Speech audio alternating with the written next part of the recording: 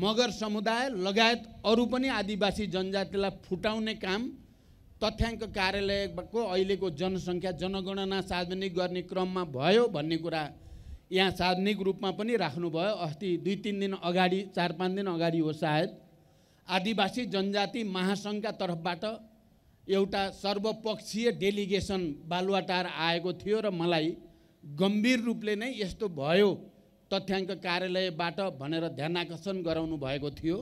मैले पहिलोचोटि थाहा पाएको त्यही हो। तथ्याङ्क कार्यालय यद्यपि प्रधानमन्त्री परि प्रधानमन्त्री र मन्त्री परिषद अन्तर्गत नै छ तथ्याङ्क कार्यालय त्यति हुँदाहुँदै पनि मलाई यो तथ्याङ्क कि मगर या अरू जनजातिलाई फुटाउने जस्तो हुन गयो भन्ने रिपोर्ट मलाई थिएन। पुन मगर मगर होइनन् भन्ने किसिमले जनगणनाको रिपोर्ट छ भन्ने जानकारी र रिपोर्टिङ मलाई भइसकेको थिएन। आदिवासी जनजाति महासङ्घले मलाई रिपोर्ट गरिसकेपछि मैले खबर गरिसकेको छु। अहिले तथ्याङ्क कार्यालयको प्रमुख मान्छे विदेश भ्रमणमा भएको हुनाले आएपछि त्यसलाई स्पष्ट गर्ने र करेक्सन गर्ने मैले प्रतिबद्धता व्यक्त गरिसकेको छु। त्यसकारण फुटाउने काम हुँदैन। देशलाई जातिहरूलाई फुटाएर देशको हित हुँदैन भन्ने कुरा म स्पष्ट छु र मैले यो प्रक्रिया अगाडि बढाइ पनि सकेको छु। म यही जानकारी यहाँहरूलाई गराउन चाहन्छु।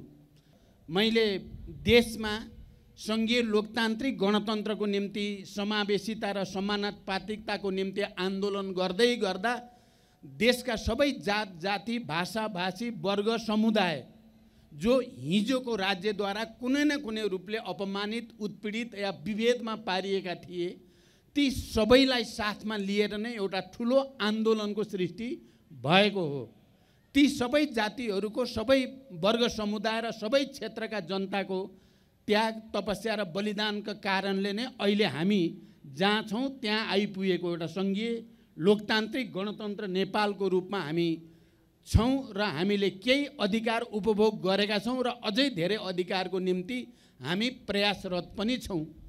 म के भन्न चाहन्छु ती सबै जात जाति भाषा भाषी मध्ये मगर समुदायका युवाहरू मगर समुदायका श्रमिक जनताहरूको त्याग र बलिदान नभएको भए र मगर समुदायले हिजो आन्दोलनको बेलामा विचारको रक्षा नेतृत्वको रक्षा नेताको रक्षामा सक्रिय भूमिका खे नखेलेको भए अहिले हामी जहाँ छौँ त्यहाँ हुने थिएनौँ। मलाई यो कुराको राम्रो ज्ञान पनि छ हेक्का पनि छ र मैले त्यसकारण मगर समुदायका प्रतिनिधिहरूलाई मगर समुदायलाई उचित सम्मान दिनुपर्छ उचित स्थान इतिहासमा उनीहरूलाई प्राप्त हुनुपर्छ भन्ने कुरामा पनि म बडो सुस्पष्ट छु भन्ने कुरा यहाँहरूको अगाडि राख्न चाहन्छु।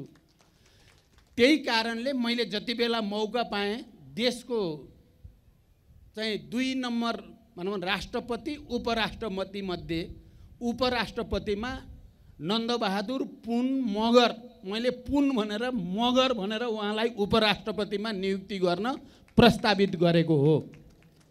तपाईँहरूलाई थाहा छ अनि सभामुख जस्तो गरिमामय सम्मानित पदमा मगर जातिकै महिलालाई पहिलोचोटि प्रस्तापित पनि मैले नै गरेको हो। तपाईँहरूलाई थाहा छ मगरलाई नै पहिलोचोटि गणतन्त्र नेपालको रक्षा मन्त्रीको रूपमा मैले नै प्रस्तावित गरेको हो। र एउटा सफल अर्थमन्त्रीको रूपमा आज मात्रै लामो उपचारपछि फर्किनु भएको छ वर्षमान पुन। उहाँलाई पनि अगाडि सारेर मगरहरूले इतिहासमा खेलेको भूमिकाको उचित सम्मान गरिनुपर्छ भन्ने मान्यताबाट यसको अर्थ मैले मगरलाई मात्रै भनेको त होइन। अरू पनि सबै हुनुभएको छ। तर मगरले खेलेको भूमिकालाई सम्मान गर्नुपर्दछ। म नेपाल मगर सङ्घ या मगरहरूलाई आन्दोलित गर्ने कुरामा सुरेश आले मगर धेरै पहिलेदेखि लाग्नु भएको थियो। उहाँलाई पनि सम्मानसहित अगाडि बढाउनुपर्छ भनेर अहिले राष्ट्रिय सभाको मान्य सदस्य हुनुहुन्छ हेर्दै जाउँ के के हुँदै जानुहुन्छ।